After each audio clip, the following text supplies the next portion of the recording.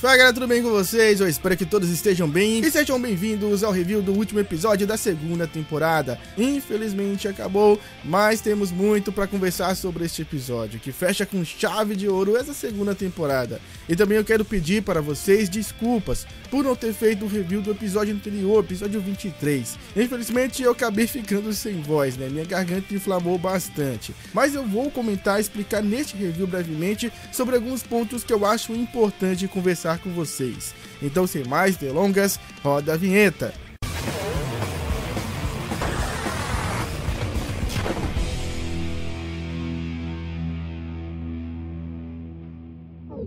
Bom, o episódio anterior, 23, bateu um recorde adaptando seis capítulos de uma vez só. Foi do capítulo 189 até o capítulo 194, e isso acabou gerando muita informação para um episódio só.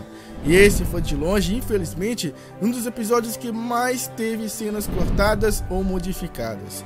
A luta do Monspier Derrire contra Meliodas não é nem metade daquilo que foi mostrado no anime, assim também como a luta do Hendrickson contra o Fraude, que no anime foi resumido a apenas dois golpes. Porém, o que mais pesou nesse episódio foi a confusa explicação da Merlin sobre seus poderes, isso devido a algumas alterações que foram feitas e também ao erro cometido por alguns fansubs ao legendar a parte que Merlin revela ser filha de Belialuin e não de Belial. Mas esse, por sinal, foi o mesmo erro cometido alguns anos atrás pelas scansubs que traduzem o mangá, fazendo assim muitas pessoas, inclusive eu admito, a teorizar quem de fato seria Belial. Mas eu vou explicar desde o começo para ficar tudo certinho. Por que, afinal, o mandamento do Greyhound não afetou a Merlin? Resposta: simplesmente porque ela parou o seu próprio tempo, através da sua habilidade mágica especial, o Infinite ou Infinito. Magia que faz com que qualquer outra magia ou condição entre num estado eterno. E como ela conseguiu escapar do mandamento do Galan? Porque ela simplesmente anulou a maldição do seu mandamento. Diferente do que muitas pessoas pensam, a Merlin não é imune aos mandamentos. Digamos que o correto é falar que ela possui uma certa resistência a eles. Então ela pode ser atingida sim pelas maldições, mas ela é capaz de anular o efeito de qualquer maldição que caia sobre ela. Isso porque ela recebeu um certo presente de alguém bem importante que permite que ela faça isso. E a última grande revelação feita pela Merlin é de que ela seria filha de Belialuin e não de Belial, como os fansubs traduziram. E a Merlin seria a sobrevivente do massacre que sofreu este vilarejo.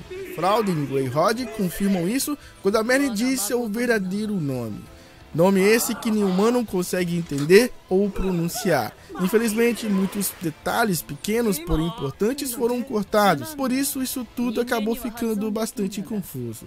Fora isso, também foi revelado a verdadeira identidade do Gil Frost, que na realidade era viva, né, que acabou sequestrando Gil Thunder, provando que o amor não tem limites e pode ser até perigoso.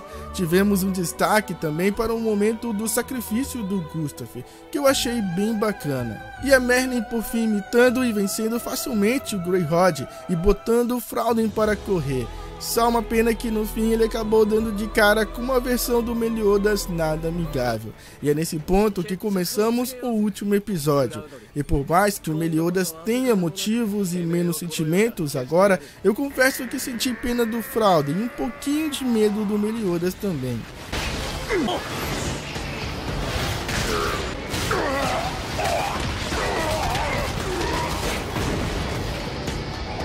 Meliodas não só perfura o corpo do Fraulein, mas como também fere seu orgulho e humilha sua posição, revelando que Fraulein nunca recebeu o título de um mandamento do Rei dos Demônios, que ele não passava de um substituto de quinta. E é verdade, apesar dos seus 31 mil de poder, o Fraulein não era o mandamento, mas ele tinha orgulho da posição que tinha, orgulho do seu clã e não conseguia aceitar o fato do traidor, o Meliodas, se sair bem no final disso tudo. Mas ciente que não poderia vencê-lo, Frauden, no ato de desespero, decide se sacrificar, levando consigo Leones também. Mas no fim, o Frauden consegue provar que tem mais sentimentos do que Meliodas neste momento. A ligação que ele criou com o Griamor que estava disposto a pará-lo a todo custo, fez ele amolecer seu coração e desistir de destruir tudo. No fim, o principal demônio né, que iniciou tudo isso, começando pela possessão do corpo de Dreyfus, o assassinato de Zaratras, a incriminação dos sete pecados, a libertação dos dez mandamentos e a morte de Liz, encontra o seu fim. Mesmo que difícil de aceitar, ele tentou se redimir de seus atos e entregou sua vida para Meliodas, que por sua vez não hesitou. Sorrindo, Meliodas tira a vida de Frodo.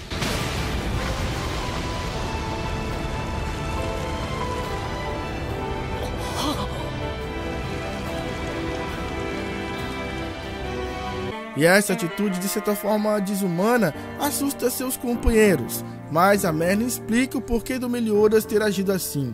Cada vez que Meliodas revive, ele volta com menos sentimentos, pois eles são sugados pelo rei dos demônios no purgatório. Assim, cada vez mais, ele volta a ser quem era na época em que era chamado de demônio mais poderoso. E neste momento temos um grande spoiler da forma de assalto do Meliodas. Eu achei isso simplesmente fantástico. Para quem achou que não iria ver a forma de assalto de Meliodas nessa temporada, tá aí.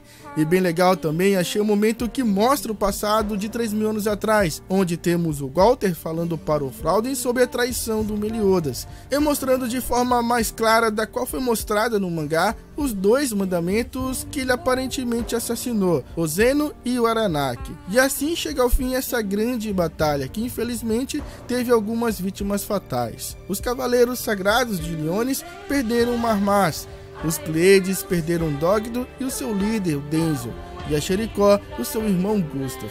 E além dos sentimentos, o Melhoras também perdeu seu bar. Ele aparece sozinho e de certa forma contente por ter conseguido vingar a morte de Liz, mesmo sabendo que aquilo não era tão certo assim. Porém, a Elizabeth aparece para lhe fazer companhia. E esse momento do Meliodas junto da Elizabeth foi um dos momentos mais marcantes desse episódio para mim. Foi ao mesmo tempo triste e emocionante. Meliodas pela primeira vez se abre e chora dizendo para Elizabeth que tem medo de voltar a ser quem era antes. Mas se ele não voltar, ele provavelmente não será capaz de salvar a Elizabeth.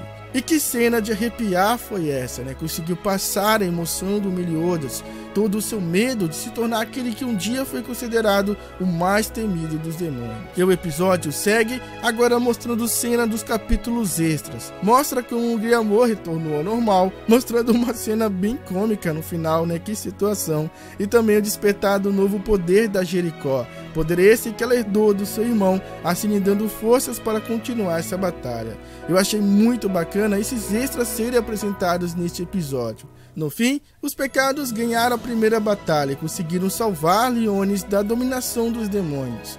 Mas nem todos os mandamentos ainda foram derrotados. Meracila ainda continua viva, assim também como Zeldris, Gluxinia, Dolor e Starossa. E agora eles precisam libertar o reino de Camelot e também salvar os cavaleiros que estão sob o mandamento de Zeldris. E toda essa parte da Merlin conversando sobre tudo isso não acontece exatamente dessa forma no mangá. Eu diria que o anime tentou explicar melhor algumas coisas, mostrando quais os mandamentos ainda estavam vivos e também finalmente mostrando que a Elaine continua viva. No mangá, na época, eles deixaram a gente com essa dúvida. É claro, não podemos esquecer do Walter que ficou preso nesses últimos episódios, né, por causa da suspeita dele ser um dos mandamentos mas ele finalmente é solto, faz ali uma gracinha. E esse Killpin que ele fala na época virou até teoria, mas pelo jeito não era nada demais. E agora ele pode voltar e se unir aos demais pecados. Já o King e a Tiana estão na floresta do Rei das Fadas comemorando. E eles ainda não sabem que o Meliodas voltou à vida. Mas tudo enfim terminou bem, os pecados estão entre aspas finalmente reunidos. A dura batalha contra os mandamentos ainda não acabou, mas todos estão prontos e determinados a vencer essa guerra.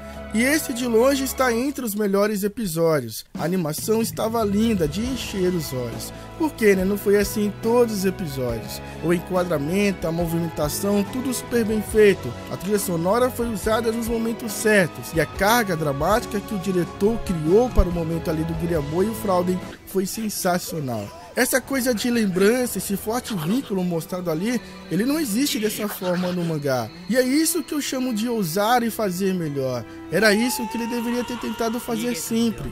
E graças a Deus, eles não inventaram de fazer um final alternativo, como fizeram aí na primeira temporada. Sem dúvidas, esse foi o melhor final para essa segunda temporada. Pelo menos na minha opinião. Ah, e sobre a terceira temporada, antes que você me pergunte aí nos comentários, infelizmente nada foi anunciado e provavelmente ela só deve acontecer após o fim do mangá ou bem perto do fim do mangá de Nanatsu no Taizai. E ainda não temos previsão de quando o mangá irá acabar, apesar de parecer que ele já está bem perto do seu fim, infelizmente. Mas a gente ainda vai falar muito do anime dessa segunda temporada. Eu vou trazer um vídeo super especial, fazendo um balanço geral sobre toda essa segunda temporada, apontando os pontos negativos e positivos.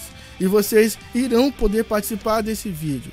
Eu irei fazer uma postagem lá no meu Instagram e você irá comentar nessa postagem a sua opinião geral sobre a segunda temporada. E essa sua opinião poderá aparecer neste vídeo especial. Então, se você ainda não é seguidor do Instagram, segue aí o ND5K ou clica no primeiro link da descrição para poder participar desse vídeo. Eu espero de coração que você tenha gostado desse review. Comenta aí se gostou do vídeo, da minha opinião e desse último episódio.